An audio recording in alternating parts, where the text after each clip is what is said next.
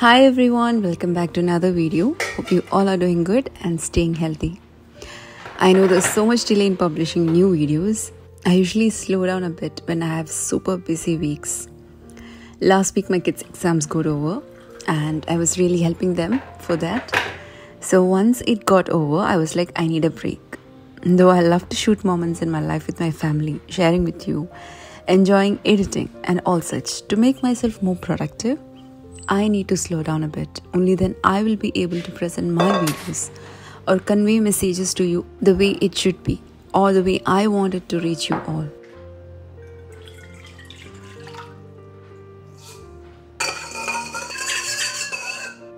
It's been so long I prepared something special for my family like I used to do before.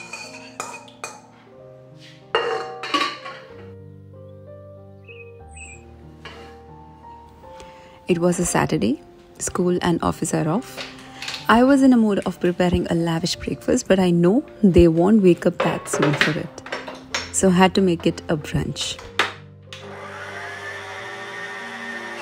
I love breads and buns. For a healthy version, I tried preparing whole wheat bun, but to be honest, it didn't come out that great. The yeast had a strong pungent flavor. It was neither expired nor was it dead as the yeast got activated when I kept it for resting in lukewarm water with sugar dissolved in it. Now let me show you a cheese spread I make these days when I have milk that's over the expiry period. You will have to heat the milk till it reaches the boiling point.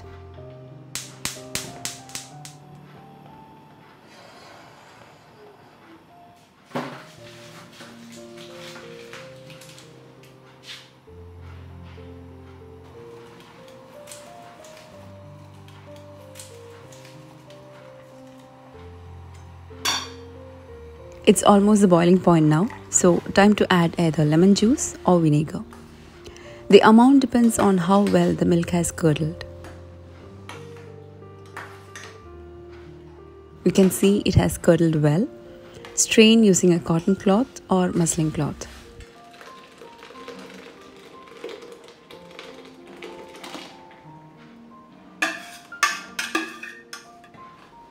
Cover it for some time.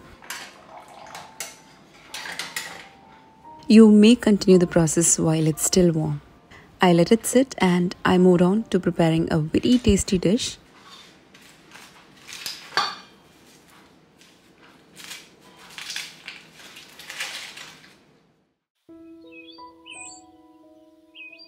Rihan had been asking me to make ravioli from a very long time, ever since he tried it from a restaurant in Kerala during our last vacation. It was flavorful.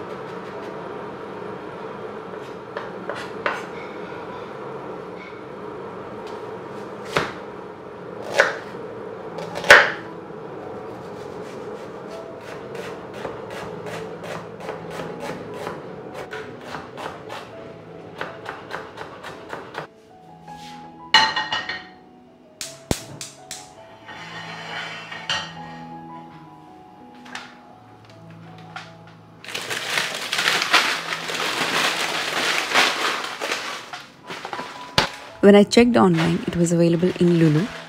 So I had gone to the store on Friday, but unfortunately it was over and instead got tortellini with, with ricotta cheese and spinach filling. Bought two packets.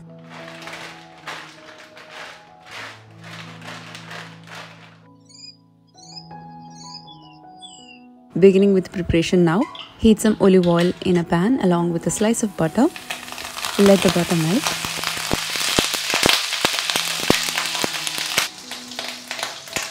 Chop around 5 or 6 cloves of garlic and fry in the butter.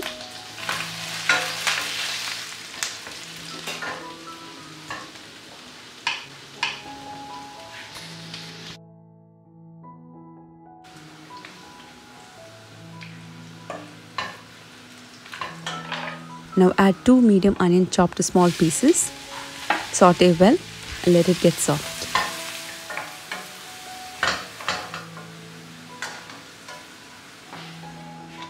That's eggplants for mutabbal, scoring the eggplants for roasting in air fryer.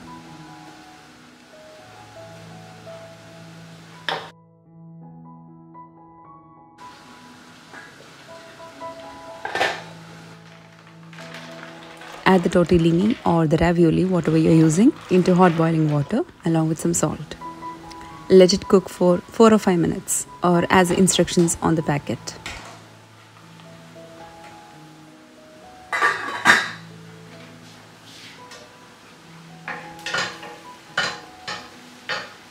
Now to the onion goes in 2 cups chicken stock or vegetable stock. If you don't have both, add hot water. And to this goes 1 cup cooking cream. The stock had salt in it, so didn't add more. Then goes half teaspoon crushed black pepper and 1 teaspoon chili flakes.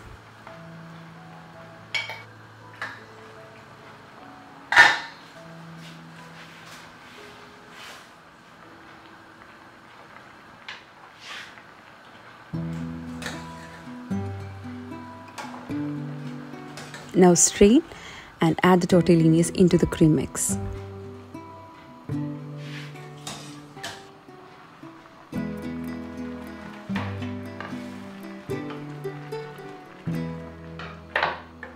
Let this boil on low flame for 2 or 3 minutes.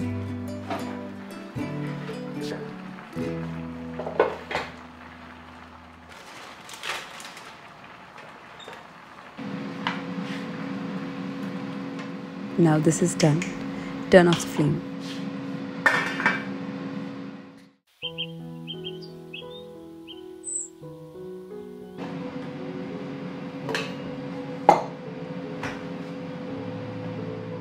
There goes the milk curdles. Add that to a blender. Now this is still warm. To this add 1 tablespoon of thick curd here I'm adding some za'atar, but it's completely optional. Za'atar had salt in it, so I didn't add any more. If no za'atar, then add some salt and blend.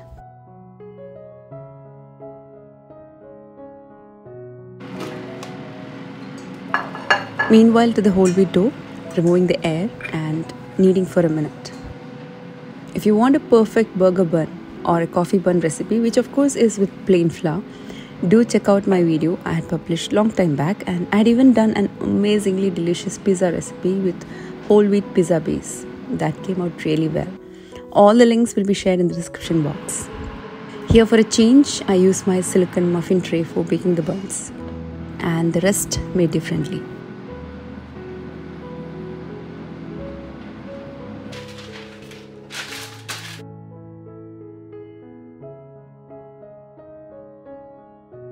Cover for 5 minutes. Meanwhile, preparing the mutabbal. In a blender, peel off the roasted eggplant and add the pulp. Try to get rid of the seeds as much as possible or else there will be a bitter taste. Then goes 4 cloves of garlic, quarter cup olive oil, then goes quarter cup tahini which is sesame seeds paste, half to 1 teaspoon salt. Forgot to add the sourness. I'm adding vinegar. You may add lemon juice instead. Now, in fact, mutabbal doesn't need any blending. You may mash the pulp of the eggplant using a fork or a spoon and then add in the rest of the ingredients. Mix really well and it's good to eat. Basically, it needs to be a bit chunky. Here instead of the egg wash, I use some curd to see how it goes. But if you want the top part to have that nice golden brown color, egg wash is the best. I baked it at 200 degrees Celsius for 10 to 12 minutes.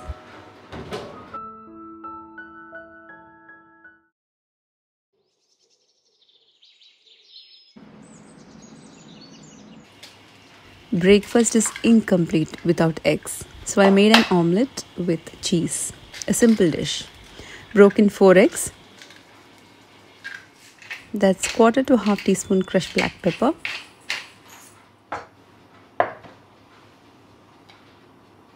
some salt, 1 teaspoon chili flakes. Beat well.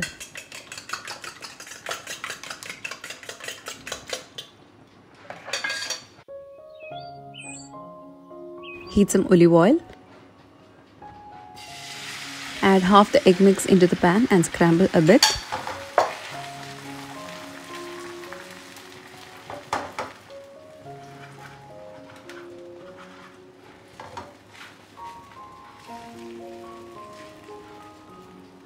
Add some shredded mozzarella cheese over to one side and flip the other side over this.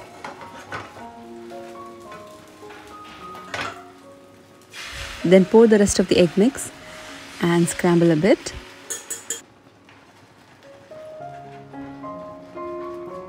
Add some more cheese. Now flip the other side towards this.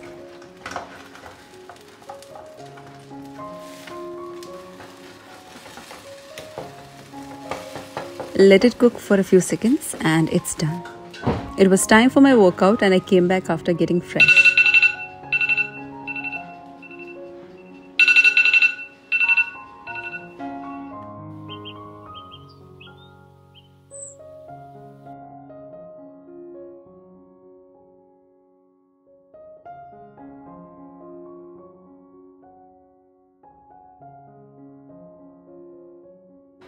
For a fruit salad, I mixed in apple, grapes, pomegranate, and one banana.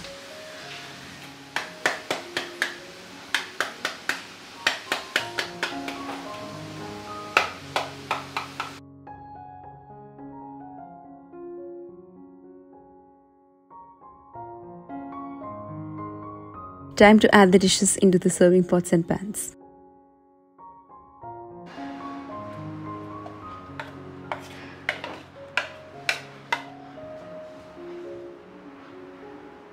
Drizzle some olive oil over the mutabbal and garnish with some pomegranate seeds and chopped capsicum.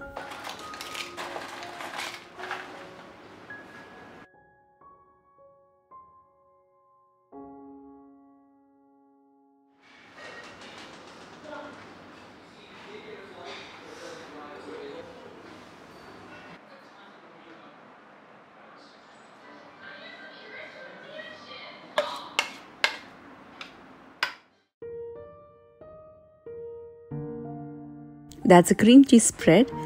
Again, drizzling some olive oil. Garnishing with some chopped capsicum.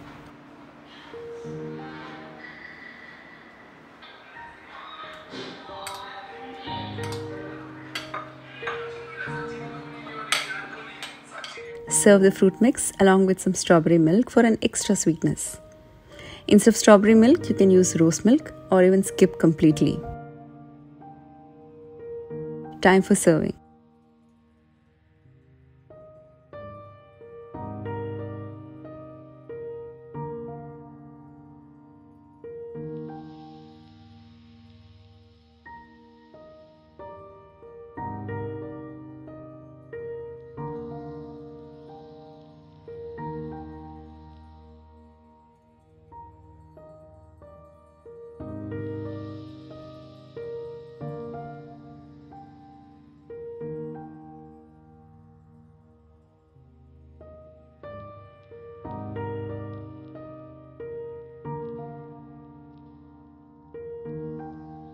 The sauce in this was completely absorbed by the tortellinis. If you need more sauce, do add some hot water into it.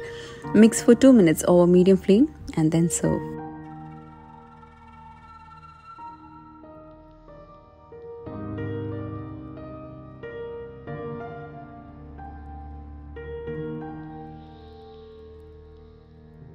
Cooking a meal, spending time with family, serving them the best you can all these are what everyone look forward but these days we are in so much rush that we don't have time. We are always in a hurry. Slowing down is something very important for our soul. The most important being self-care. Find time for yourself. Once you get that inner peace that's the moment you have started to love yourself and that nothing else cares. We have no control of what's happening outside but we should know that our control is in our hand and that nobody has a remote for it.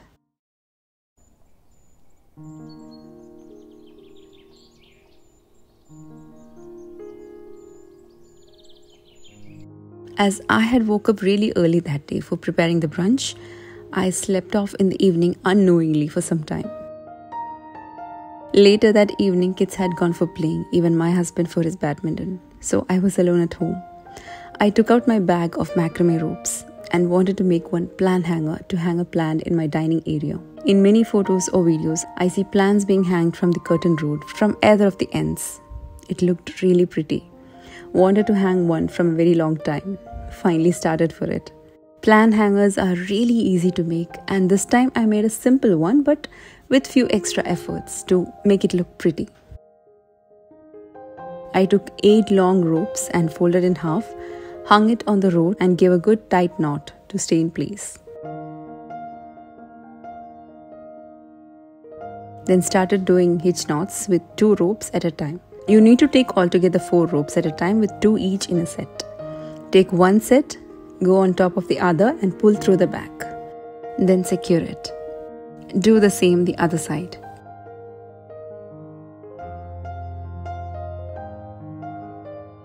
Keep repeating and you get this beautiful braided rope.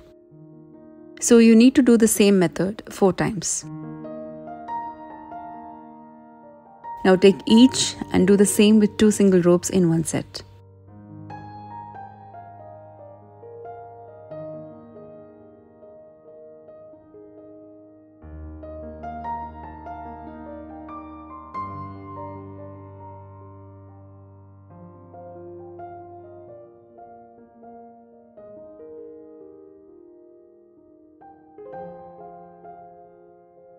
I gave 20 repetitions on each, but it depends. You need to get the same length of the rope with the knots.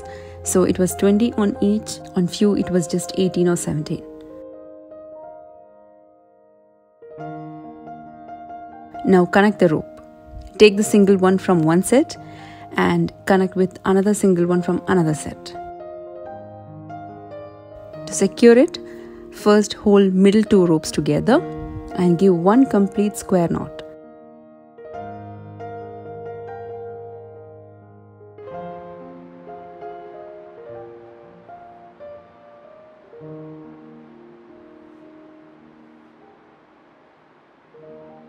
And now repeat the very first knot that's the hitch knots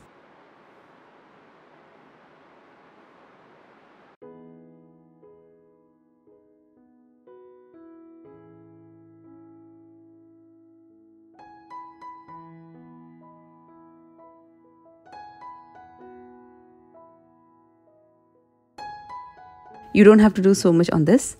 Now that's joint. Repeat the same with the rest.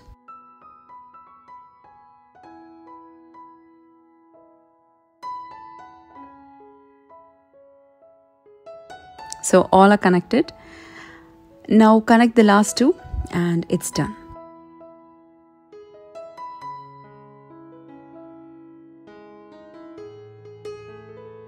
Give a good knot holding all together.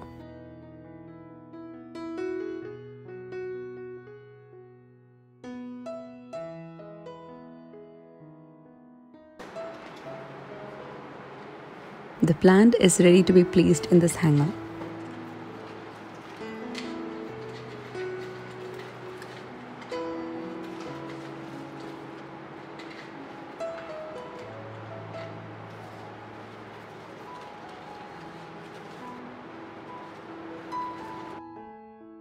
Cut those extra ropes and give a neat look for it. And that's done.